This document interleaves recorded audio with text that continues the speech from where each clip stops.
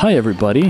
I hope you've had a good Christmas and good New Year. It's 2017. I'm back again with more complete brain cancer inducing shit just to start it all off in the proper fashion.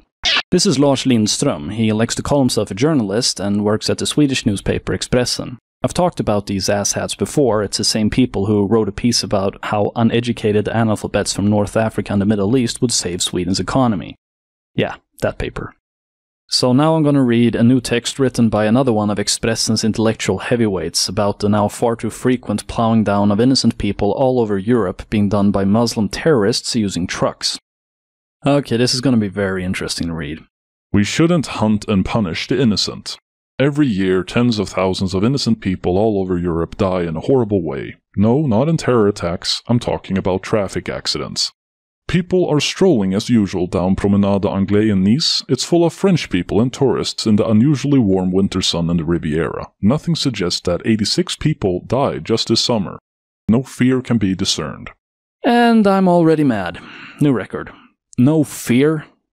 How the fuck would you know anything about the fear of people living in Europe who have been the victims of terror attacks, Mr. Lindström? I can count on one hand the amount of terror attacks that have been taking place in this country. In the 70s, we had the Red Army faction holding up the West German embassy in Stockholm. Two people were shot, and then one of the attackers accidentally set off a grenade and killed himself. And the 11th of December 2010, some Islamist set off two bombs in central Stockholm, killing himself and giving two Swedes minor injuries. That is it. That is all. Well, we also had fatwas aimed at Swede Lars Vilks because Salafist human trash got butt hurt because he drew a terrible drawing of a dog with Muhammad's head. But in the grand scheme of things, we've experienced nothing. You and I know jack shit about the fears of people in France, or Germany for that matter, or in any other of the many countries suffering from attacks being done by Muslim terrorists. We are complete fucking tourists on the topic, and your attitude is proof of this. Not even four military policemen with grim faces and loaded automatic weapons change anything. They walk slowly, transformed into squares with a distance of six or. S- Who gives a shit? Are are you still talking about people in France at the precise moment you happen to wander by while taking notes in your faggy little leather-bound notepad, not looking like they were afraid? Not feeling uneasy about the fact that heavily armed police walking around is now normal in large parts of the EU. Well, I expect that your sheltered and cushioned perception of reality would be badly broken if you actually took the time to speak to them instead of simply thoughtfully biting the tip of your pencil while enjoying a cup of coffee at some picturesque and charming French cafe. You get used quickly to new control mechanisms, new emergencies. We're people, we know that terrorism must be prevented and combated, we want the terrorists to be hunted and punished, and we understand that the preachers of violence must not prevail. Personally, I think that the defending of a violent religious and political ideology by meek men who consider self preservation to be an act of intolerance to be worthy of punishment as well. Pathetic excuses of liberals and other progressives on a more or less daily basis defend rapists, terrorists, and other scum, so pardon my difficulty in swallowing your overwhelming amount of hypocrisy. But we cannot hunt down and punish the innocent. We shouldn't be afraid of fellow human beings who are without blame. Each individual must be judged by their actions. Oh my god, what a complete and utter platitude. Cheap comments which spare you from any serious investment whatsoever. Okay, Lady Justice, when would you consider a person to not be innocent? Should a supporter of Sharia be considered innocent? A person who doesn't respect the law of the land?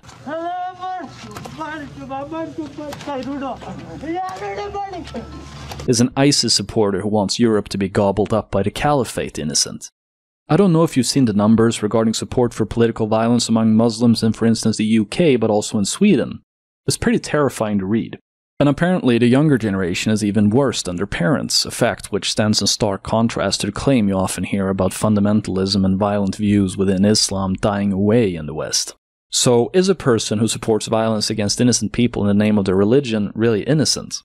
Well, of course he is. It's completely legal to be a retard, which is obvious since you, Mr. Lindström, still haven't been put in jail. So these supporters of murderers are indeed innocent until they're not. Right? You are not allowed to call for the slaughtering of a specific group of people while standing in the middle of a town square, but it's legal for you to support suicide bombings against Israeli civilians while you're just checking boxes in a survey. That's harmless, isn't it, Mr. Lindström? So the general plan from your ilk so far is to wait until people die, then change your profile picture on Facebook in solidarity and explain it away all as just being a lone psychopath while also dodging the fact that these murderers are often praised as martyrs in the very area where they grew up. I would argue that your simplistic view unintentionally or willfully misses the greater picture, which is the fact that Sweden is a breeding ground for terrorism and that it needs addressing. And the part that is extremely irritating is that you know that this is true. The information is very easy to get a hold of. So I think it's outright disgusting how you preach about the importance of being innocent until proven guilty when the victims of your gullibility are being torn to ribbons by bombs or crushed by trucks in other countries. Countries where attacks have been planned and aided by people who you would call innocent until proven guilty. But I'm sure European victims of terrorism are extremely impressed by how faithful you are towards your moral principles. I come to think of a news heading of the terrorist attacks this Christmas. Truck drove into the crowd in Berlin. It made a Facebook user ironically exclaim, Should I be afraid of trucks now? To which it can be argued that trucks were used at the attack in Berlin and in the one at Nice. So yes, watch out for runaway trucks at National Day celebrations, on Christmas markets, and in the traffic. Okay, just a quick question. Are you paid by the letter or by the amount of snide and sensitive remarks you can cram into your texts? Or are you just being a cunt for free? In one year, more than 26,000 EU citizens die in traffic accidents. In 2015, exactly 26,112,000, according to Eurostat. Sadly, there was an increase, but it still has been gradually a welcome reduction, and even more gratifying is that Sweden is second in Europe regarding traffic safety. How is this even remotely relevant to anything at all? The terrorist attacks in 2015 took about 180 lives in the EU, and the figure for 2016 may be slightly lower. Citation needed. Also, I really hope you're not going where I think you're going with this. The last two years has hit Europe particularly hard, yet we are far from the death rates caused by terrorism here in the 1970s and the 1980s, according to the Global Terrorism Database, and just a few percent of terrorism deaths are actually found in Western countries. And you did it. You fucking went there. That's unbelievable. Okay, so not enough people have lost their lives in order for us to have any real need to worry then. Because there died more people in the EU during the 1970s and 80s. Well, bravo, case closed. And look, you also put your degree in journalism to some use by providing us with a single source, so let's look at that then. Fuck's sake. So from 1970 all the way up until 2005, there were only 1,037 people who died as the result of terrorism in all of Europe. This means that 1,037 lives were lost during the span of 35 years. I hope you're aware, Mr. Lindström, that about 3,000 people died in a single day in the US on the 11th of September 2001. You know about that, right? It rings a bell. But perhaps that was different. Something like that could never happen in Europe. But since you're dazzling me with all these facts and the numbers and all that shit, I'm going to raise you one and serve up an interesting thought based upon facts, which might be worth, you know, thinking about. In total, so far, about 135 people, according to our Swedish security police, have returned to Sweden after having fought together with ISIS. The number can be a little bit higher or a little bit lower. I think it's higher. Now, our iconic arena, Globen in Stockholm, has room for 16,000 audience members. The building only has six exits. How different do you think our number of murdered Europeans would look in 2017 if even just two out of these 135 terrorists living in our country were to come in through two of these six exits with guns? And also, would you still be doing your best to downplay the number? Of course you wouldn't, because you wouldn't dare. Because grieving families all over Sweden would then want you to be swinging from the highest tree. But still, you seem to think it's okay to downplay the loss of other countries in the EU because there hasn't died as many people there yet as it did in the 1970s and 80s. Am I following your argument?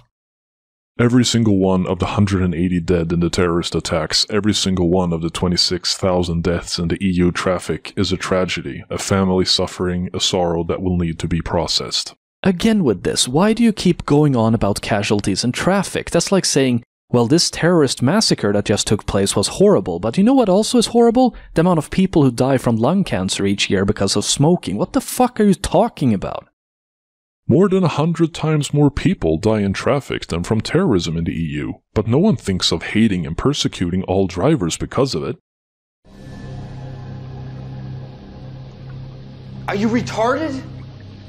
What you have written here is completely dripping with a level of stupidity that you'd only ever expect from a person who considers operating a door handle to be an insurmountable intellectual challenge. Are you seriously implying that people give drivers who intentionally murder people using their vehicles a pass in our society? What you just wrote is so extremely stupid that I'm just checking to see if I'm really understanding you correctly. Because trying to follow along with your reasoning is like attempting to braille read roadkill. Mr. Lindström, are you perhaps familiar with the term accident? Look, I found the definition for you right here. Accident, an unforeseen and unplanned event or circumstance. You see, when you swerve off the road because a deer jumped in front of your car and you, as a result, crashed down a hill and died, that was an accident. It was also an accident that you hit a young woman who was walking in the dark on the other side of the road. That was a series of unintended tragic events. Planning and shooting up a concert hall full of people or losing control over your car and by accident hurting yourself and others isn't even remotely similar to each other. What the hell are you talking about? I have no idea how you can be receiving a paycheck at the end of each month, Mr. Lindström. You're clearly unable to even differentiate between something as basic as accident and intent. The man who is paying you and running the paper through which you continuously publish your fecal discharge, he must be even more mentally aborted than you are. Oh, look, he actually is. Stop defending terrorism through your strained, idiotic, and frankly offensive mental gymnastics and instead demand that Muslims take to the street and protest and start taking a more active part and even making an attempt at cleaning up their violent and oppressive religion, if that is in practice even possible. Can't you people at your ass rag newspaper ever get anything right? To the listener, I hope you've enjoyed another rant aimed at one of the far too many excuses for journalists we have the misfortune to be housing in Sweden. Take care of yourself, and I'll talk to you very soon. Ugh, I need a beer.